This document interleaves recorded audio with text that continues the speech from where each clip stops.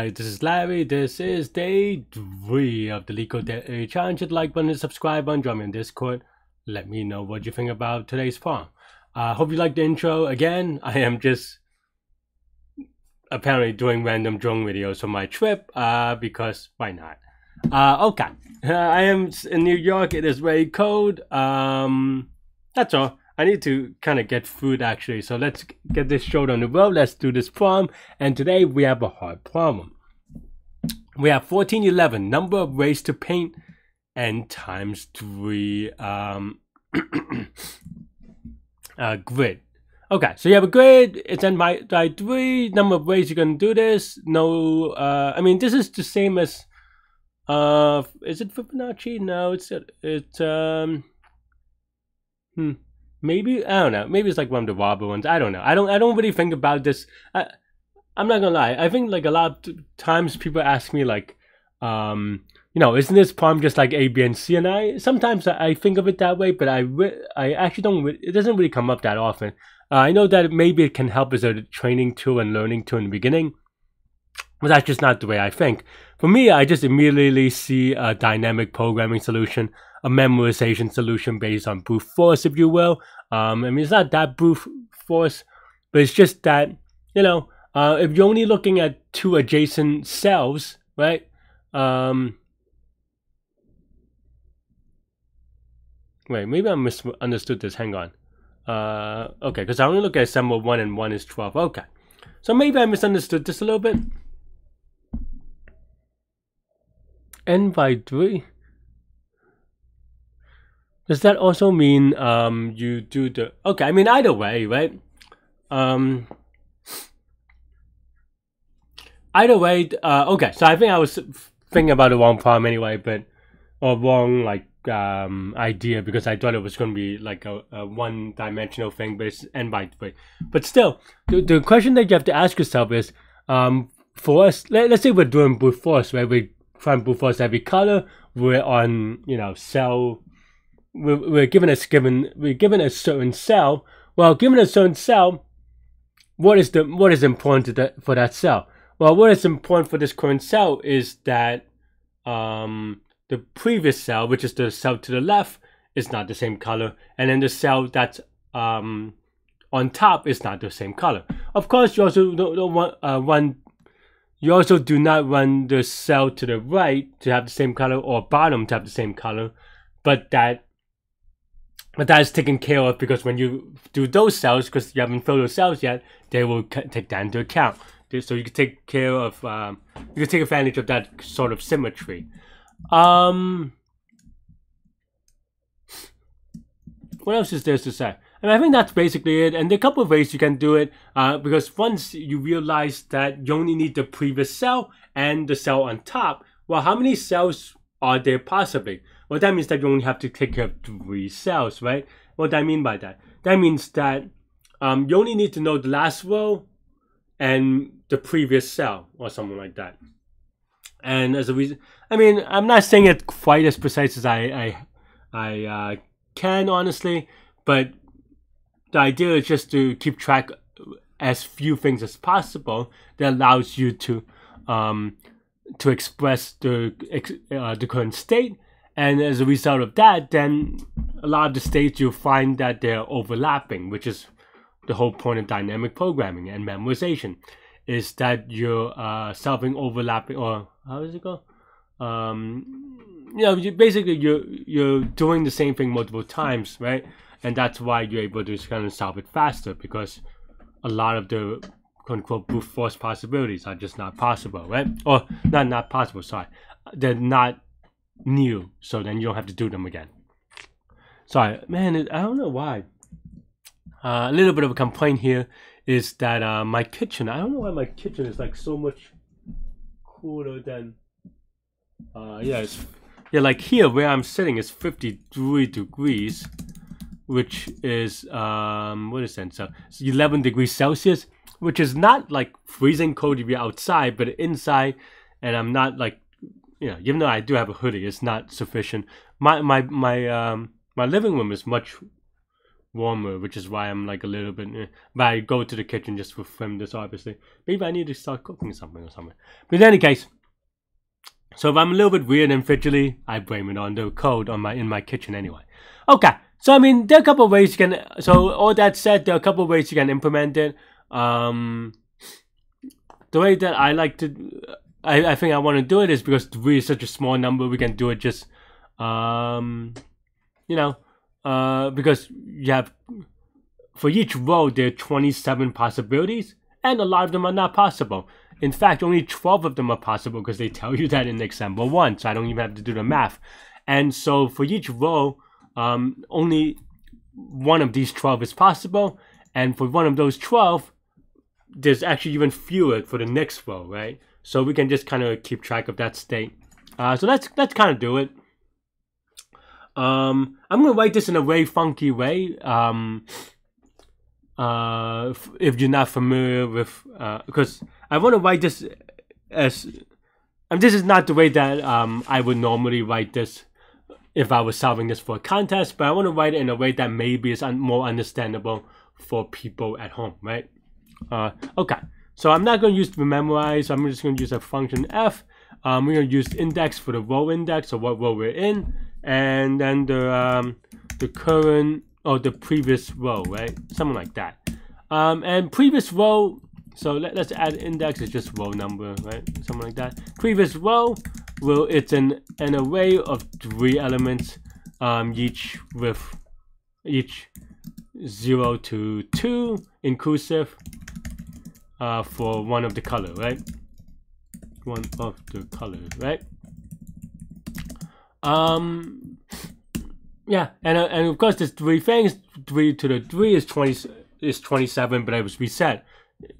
Um, because that's not a lot of them are not possible, so it's only really only twelve things. So here we know immediately know that um, n times twelve is the number of states, right? Um, yeah, and n being five thousand, this should be more than enough. Also, there's a mod here, right? So let, let's not forget the mod for now. Mod, mod, mod, mod, mod, mod, mod, mod, mod, mod, mod, mod, mod, mod, mod, mod, mod, mod, mod, mod. Okay. Something like that, right? Okay. So then let's, uh, I mean, we can pre, there's only 12 things, we can pre-calculate these, right? So it's not as, um, yeah, so it's not as, um, so we don't have to do it, right? Um, so yeah, so then now we want to say if i is not equal to j, then we use j, and now if j is not equal to k, right? So then this is just for each row, right? So here maybe p for possibility. Uh, we want to do p dot append. Uh, we could say ijk, right? Or maybe I want tuple instead. Um, right? And you know, feel free to print stuff to wordify yourself, and it should have 12 elements. Maybe I could print it out, the, the elements. Yeah. Um, okay. And yeah, so this, uh, okay, what's my output? Output is no. Oh, no, no, standard out is what I meant. Okay, so 12, so like what we said, that's what we expect, right? Okay, so that looks good. Um, and you can actually even pre-calculate for each one of those things um, what, what the next things could be, right? So uh, next P uh, for the next row, so you could do it one more at a time, right? Um, yeah, so then now we go for i in range of length of p, right? Uh, maybe we start with next p, uh, np dot append, we empty array for now, and then now we have for um, j in range of length of p, right? Uh, we just go, um, uh, yeah, and then now because we already know that the the um so on the left right side they don't share any color so we just have to kind of um, align the um, top bottom right?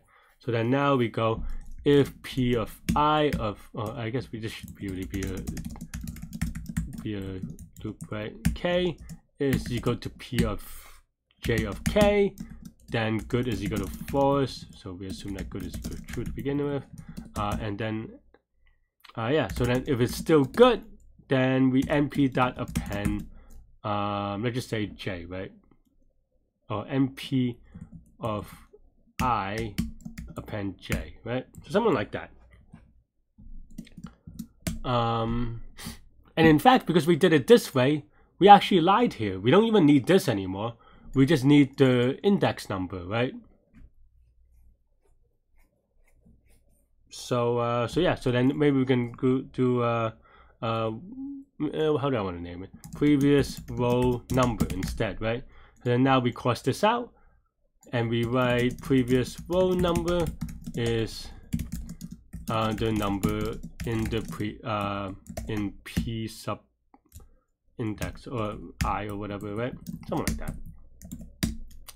And yeah, uh, and that's really pretty much it. We can say return f of.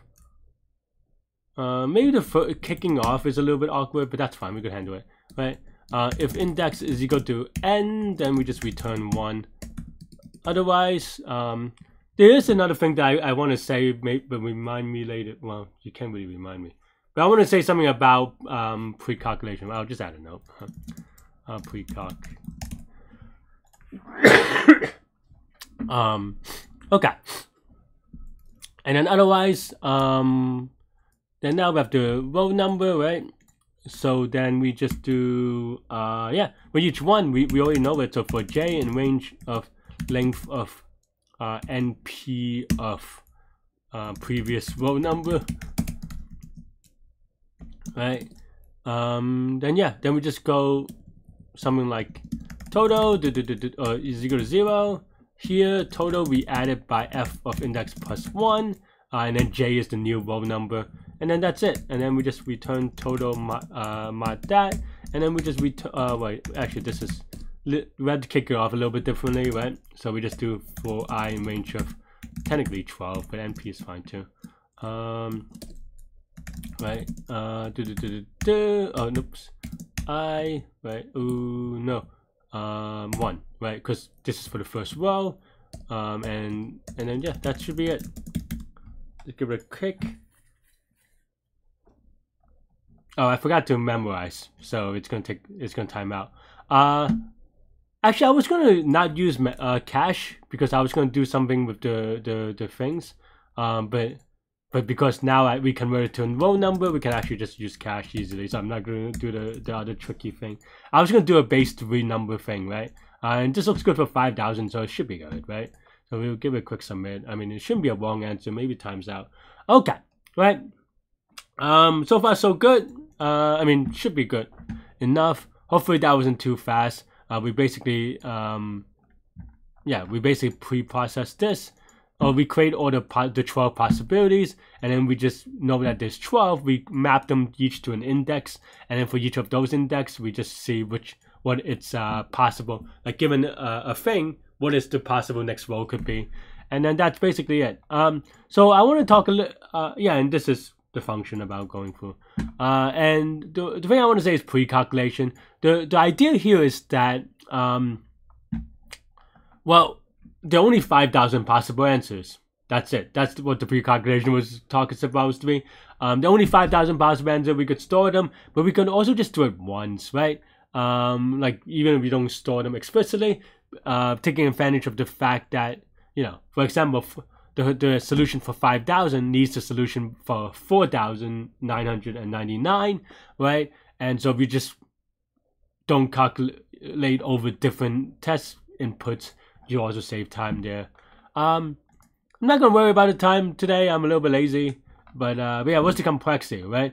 Well as we uh, kind of wrote it this way this only has 12 possible things right? Uh this is I actually don't know what uh what on the order of what this is. So let me take a look. Uh, but I was gonna without looking, you could just set an upper bound and say that this is at most twelve. Each of the twelve things have at most twelve edges, which is already an upper bound, right? This is five thousand times twelve for the number of states times twelve would be fast enough. Uh, let me take a look real quick. Uh, yeah, I mean each of these has at most like five things, so it's even so it's even a little bit faster than half of that. Um, yeah. Um, that's all I have for this one. Let me know what you think. Thanks for watching. And yeah, stay good, stay healthy to your mental health. I'll see y'all later and take care. Bye bye.